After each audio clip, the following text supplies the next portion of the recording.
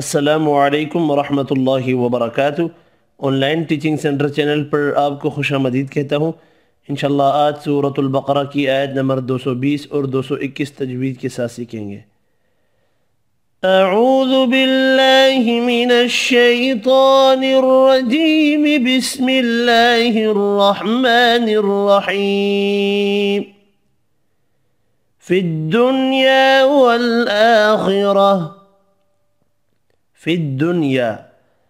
نون کا اظہار ہوگا، الف مدہ ایک، الف کی مقدار میں کھینچ کر پڑھیں گے۔ والآخرہ، کھڑی زبر بھی ایک، الف کی مقدار میں کھینچ کر پڑھیں گے۔ خورا پر پڑھنے ہیں ہاں ساکن پڑھا جائے گا وف کی صورت میں۔ وَيَسْأَلُونَكَ عَنِ الْيَتَامَى۔ وَيَسْأَلُونَكَ، واو مدہ ایک، الف کی مقدار میں کھینچ کر پڑھیں گے۔ عن الیتامہ دو کھڑی زبر ہیں، دونوں ایک ایک الف کی مقدار میں کھینچ کر پڑھنے ہیں۔ قل اصلاح لهم خیر قاف اور صاد پر پڑھیں گے۔ قل اصلاح لهم۔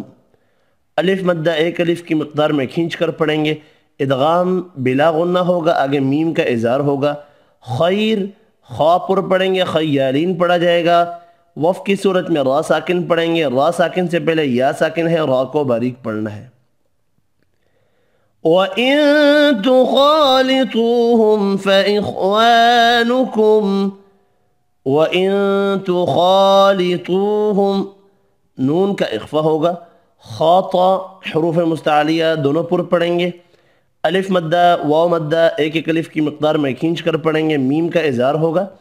فَإِخْوَانُكُمْ خواہ حروف مستعلیہ پر پڑھیں گے، الف مدہ ایک الف کی مقدار میں کھینچ کر پڑھیں گے، یہاں بھی ملانے کی صورت میں میم کا اظہار ہوگا۔ واللہ یعلم المفسد من المصلح۔ واللہ، اللہ کا نام والا لام زبر کی وجہ سے پر پڑھیں گے۔ یعلم المفسد من المصلح۔ صاد حروف مستعلیہ پر پڑھیں گے، حا ساکن پڑھا جائے گا وف کی صورت میں۔ وَلَوْ شَاءَ اللَّهُ لَأَعْنَتَكُمْ. وَلَوْ واولین ہے. شَاءَ اللَّهُ مد دو سے چار حرکات کھینچ کر پڑھیں گے. اللہ کا نام والا لام زبر کی وجہ سے پر پڑھا جائے گا. لَأَعْنَتَكُمْ ملانے کی صورت میں میم کا اظہار ہوگا. ان اللہ عزیز حکیم.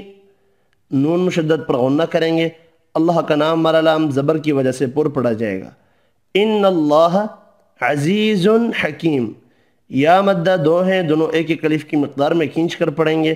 تنوین کا اظہار ہوگا، میم ساکن پڑھا جائے گا وف کی صورت میں۔ فی الدنیا والآخرہ وَيَسْأَلُونَكَ عَنِ الْيَتَامَى قُلْ إِصْلَاحٌ لَهُمْ خَيْرٌ وَإِن تُخَالِطُوهُمْ فَإِخْوَانُكُمْ وَاللَّهُ يَعْلَمُ الْمُفْسِدَ مِنَ الْمُصْلِحِ وَلَوْ شَاءَ اللَّهُ لَأَعْنَتَكُمْ إِنَّ اللَّهَ عَزِيزٌ حَكِيمٌ ولا تنكحوا المشركات حتى يؤمن. ولا تنكحوا الف مدہ ایک الف کی مقدار میں کھینچ کر پڑھیں گے، نون کا اخفا ہوگا. مشرکاتی کھڑی زبر ایک الف کی مقدار میں کھینچ کر پڑھیں گے. حتی یؤمن یہاں بھی کھڑی زبر ایک الف کی مقدار میں کھینچ کر پڑھیں گے. حمزہ جھٹکے کے ساتھ پڑھیں گے. نون مشدد پر غنہ کرنا ہے. ولأمة مؤمنة خير من مشركة ولو أعجبتكم ولأمة مؤمنة.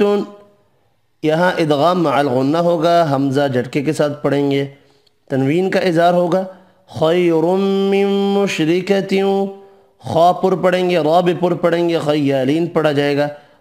رم ادغام مع الغنہ ہوگا مم یہاں بھی ادغام مع الغنہ ہوگا۔ مشرکتیوں را باریک پڑھیں گے زیر کی وجہ سے آگے ادغام مع الغنہ ہوگا۔ وَلَوْ أَعْجَبَتْكُمْ، لو واولین پڑھنا ہے اور ملانے کی صورت میں میم کا اظہار ہوگا۔ وَلَا تُنْكِحُ الْمُشْرِكِينَ حَتَّى يُؤْمِنُوا۔ وَلَا، الف مدہ ایک الف کی مقدار میں کھینچ کر پڑھیں گے۔ تو تُنْكِحُ الْمُشْرِكِينَ نون کا اخفا ہوگا، را باریک پڑھیں گے۔ یا مدہ ایک الف کی مقدار میں کھینچ کر پڑھنا ہے۔ حَتَّى يُؤْمِنُوا کھڑی زبر واو مدہ ایک ایک الف کی مقدار میں کھینچ کر پڑھیں گے۔ یہاں بھی حمزہ جھٹکے کے ساتھ پڑھیں گے۔ وَلَعَبْدٌ مُؤْمِنٌ خَيْرٌ مِّن مُشْرِكٍ وَلَوْ أَعْجَبَكُمْ۔ وَلَعَبْدٌ با ساکن ہے، قلقلہ کریں گے، آگے ادغام مع الغنہ ہوگا۔ وَلَعَبْدٌ مُؤْمِنٌ خَيْرٌ۔ تنوین کا اظہار ہوگا خورا پر پڑھیں گے، خیالین پڑھا جائے گا، آگے ادغام مع الغنہ ہوگا۔ مم مشرکیوں یہاں بھی ادغام مع الغنہ ہوگا، یہاں بھی ادغام مع الغنہ ہوگا۔ را باریک پڑھیں گے۔ ولو اعجبکم لو واولین پڑھا جائے گا اور یہاں میم کا اظہار ہوگا۔ أولئك يدعون إلى النار. اولئک مد تین سے چھ حرکات کھینچ کر پڑھیں گے. یدعون دال ساکن ہے، قلقلہ کرنا ہے. واو مدہ ایک الف کی مقدار میں کھینچ کر پڑھیں گے. الى النار، نون مشدد پر غنہ کرنا ہے. الف مدہ ایک الف کی مقدار میں کھینچ کر پڑھیں گے. را ساکن پڑھا جائے گا وف کی صورت میں اور را وف کی صورت میں پر پڑھیں گے. کیونکہ را ساکن سے پہلے زبر ہے۔ ملانے کی صورت میں را کو باریک پڑھنا ہے۔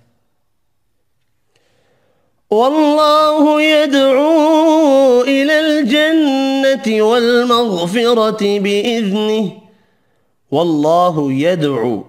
اللہ کا نام والا لام زبر کی وجہ سے پر پڑھیں گے، دال ساکن پر قلقلہ کریں گے، مد دو سے چار حرکات کھینچ کر پڑھیں گے۔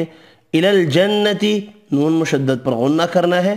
والمغفرت بإذنی غین را پر پڑھیں گے، ہا ساکن پڑھا جائے گا وف کی صورت میں۔ ويبين آياته للناس لعلهم يتذكرون۔ وَيُبَيِّنُ آيَاتِهِ۔ کھڑی زبر دو اور ایک کھڑی زیر تینوں ایک ایک الف کی مقدار میں کھینچ کر پڑھیں گے۔ لِلنَّاسِ، نون مشدد پر غنہ کرنا ہے۔ الف مدہ ایک الف کی مقدار میں کھینچ کر پڑھیں گے۔ لَعَلَّهُمْ يَتَذَكَّرُونَ میم کا اظہار ہوگا را پیش کی وجہ سے پر پڑھیں گے۔ واو مدہ ایک الف کی مقدار میں کھینچ کر پڑھیں گے اور یہ نون ساکن پڑھا جائے گا وف کی صورت میں۔ ولا تنكحوا المشركات حتى يؤمن۔ ولامة مؤمنة خير من مشركة ولو أعجبتكم۔ ولا تنكحوا المشركين حتى يؤمنوا ولعبد مؤمن خير من مشرك ولو أعجبكم أولئك يدعون إلى النار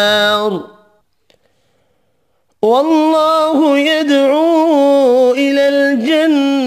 والمغفرة بإذنه ويبين آياته للناس لعلهم يتذكرون. اب میں آج کا سبق ملا کر پڑھوں گا. في الدنيا والآخرة ويسألونك عن اليتامى قل إصلاح لهم خير. وإن تخالطوهم فإخوانكم.